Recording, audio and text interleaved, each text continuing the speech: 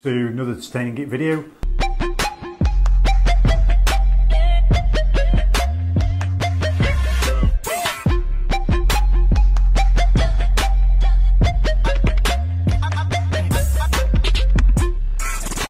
Hi, Dave here from Titanium Geek.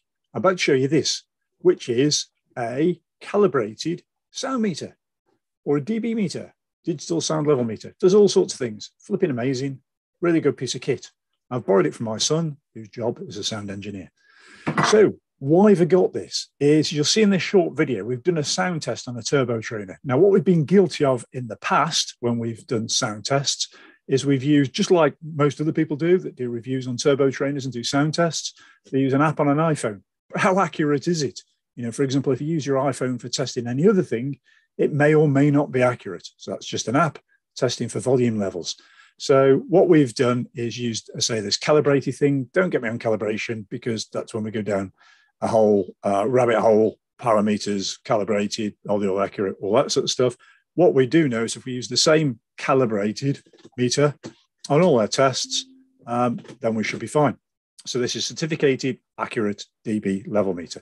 So you'll see in the test, we've got the jet black volt, which is under test here at the moment, um, together with the um, Wahoo Fitness KICKR CORE. Trying to remember the name.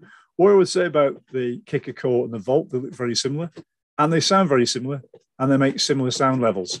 And I'll do the test on the core in a few days. But so we used the JetBlack. It was already set up. Comes with a cassette, flipping great for roughly somewhere between 450 and 600 quid in the UK, depending where you go. With a cassette on, good value, two percent power meter accurate but for a lot of people, it's important to know what sound is made by the turbo trainer and what uh, level of volume. If you've got people nearby, don't want to disturb them.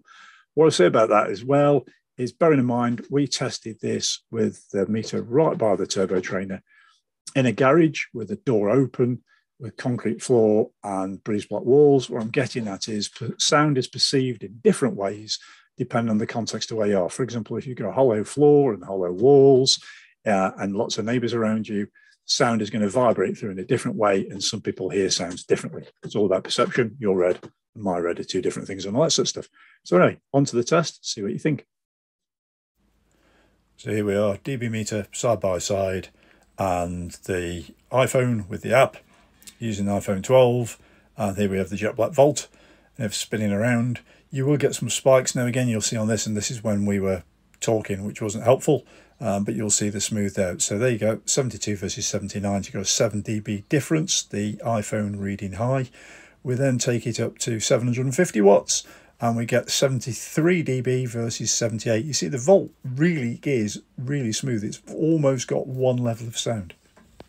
So what have we learned from that test? We've learned that the iPhone is reading on that app about 10 dBs higher than the real calibrated, calibrated um, level.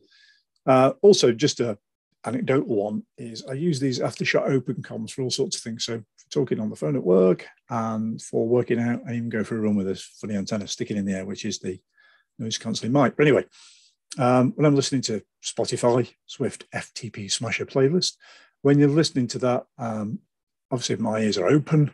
Uh, I haven't got anything plugged into them. Life is quieter using the Volt. It's a very quiet turbo trainer so I can have a lower volume on my uh, headphones, which all around is pretty good. So I hope you enjoyed that. So going forward, we'll test as much as we can for everything. Uh, even intend to test the Elite Rizer the, as it goes up and down. Don't think it makes a lot of noise, but I, it's anyway. I'm rabbiting on. Get one of these if you want to do accurate tests, but or just watch our reviews. Thanks for watching. Bye now. To another Titanium Geek video.